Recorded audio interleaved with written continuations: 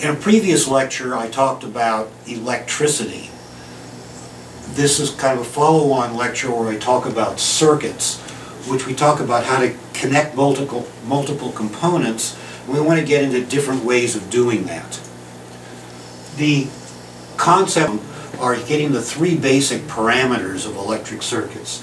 The current that flows, the voltage that drives the circuit, and the resistance that the components provide to the voltage. We want to show them the difference between series circuits and parallel circuits and introduce the relationship of the three parameters through Ohm's law. So what I've shown them last time is they connect a battery holder, a, a bulb holder, and an open switch to form a circuit. They did this last time, so I won't actually have them go through it again.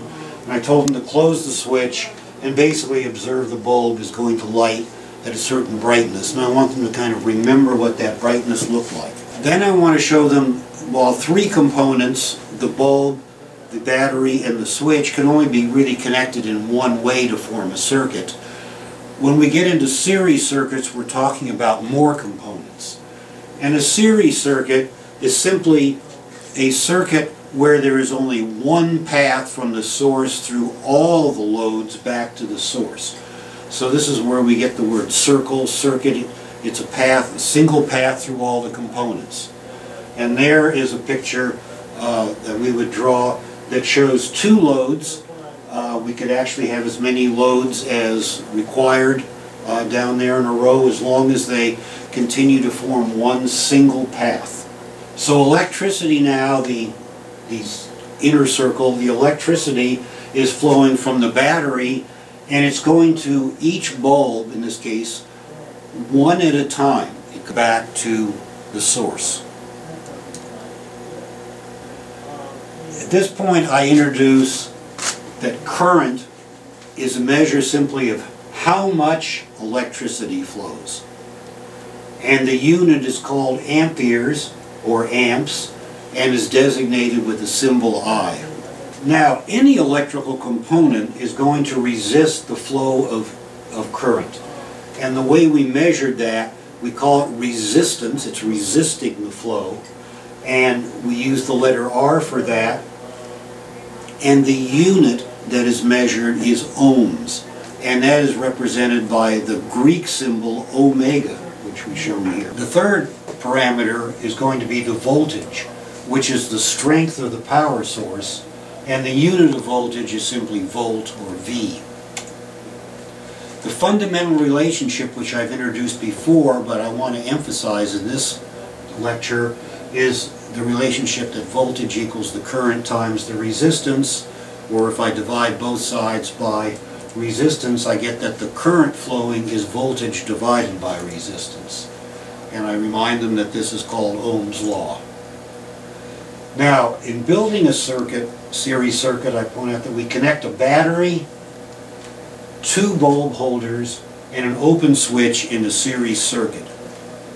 I have the battery, or the voltage source, two bulbs, and a switch. And we close the switch, and what we see, it's going to be a little hard for you to see in this video, is that the bulbs are on very dimly. Uh, it's unfortunate we're using only one one and a half volt battery, but compared to just one bulb, it is they're much dimmer, and that's what we're going to see.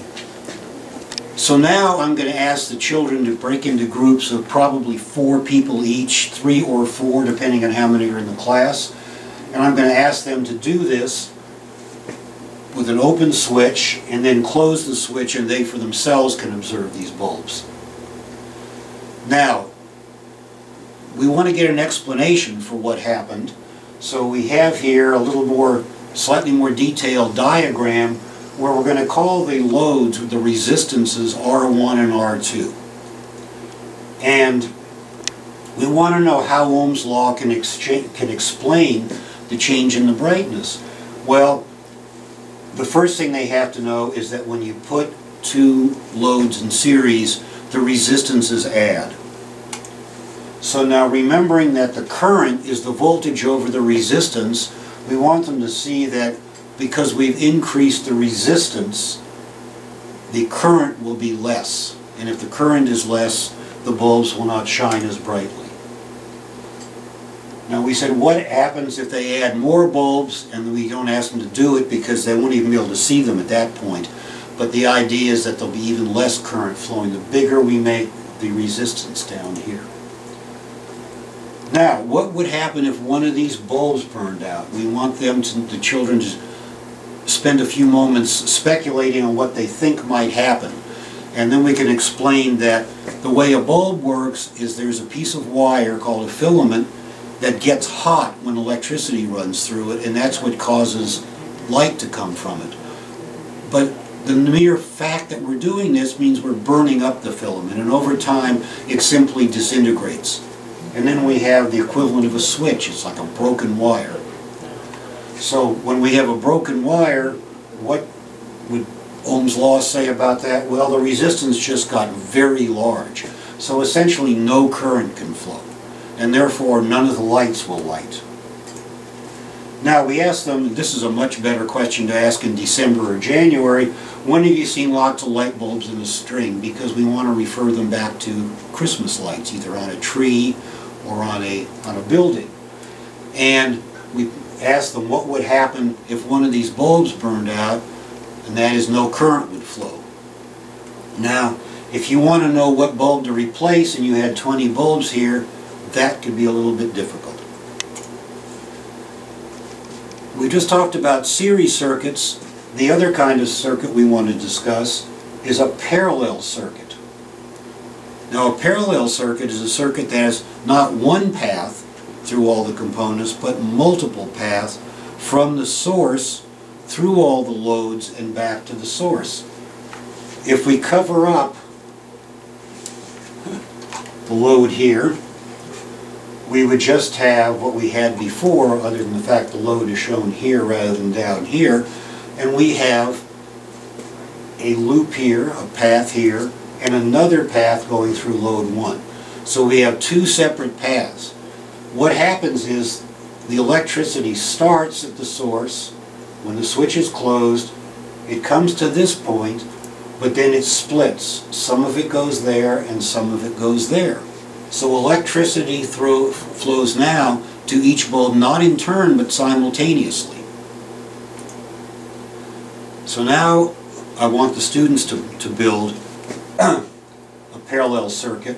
I asked them to connect the holder and two bulbs and an open switch in this manner. Now this is a little more complicated for them because the way they will hook it up and what you see here are not necessarily identical. So they're going to have to figure out where on the on the circuit to make the different connections. In order to do this, they will probably need more wires than they used in the series circuit. Uh, so what we do is we give them a total of six wires. They shouldn't need six, but we never know what configurations they might come up with, and we don't want them constrained by lack of wires. We want them to be able to figure out a way to do it, and maybe then they can figure a, a more efficient way. So then we ask them to close the switch and observe the bulbs. Now what should happen in this case, we ask them what happened, they should now see the bulbs being brighter again. A kind of peripheral question is whether a second switch could control only one of the bulbs. And we let them talk about, number one, is the answer yes or no? And number two, if the answer is yes, where would they put that switch? So what are some of the characteristics now? To simplify it, instead of having R1 and R2, I'm saying they're the same resistance, they're both R. Does Ohm's law explain the brightness? Well, if we look at the voltage, if we look at this load here, its resistance is R. And if we look at the source, its voltage is V. So we haven't changed anything from the original one bulb design. So that says we should see the same current flowing through this bulb and it should be just as bright.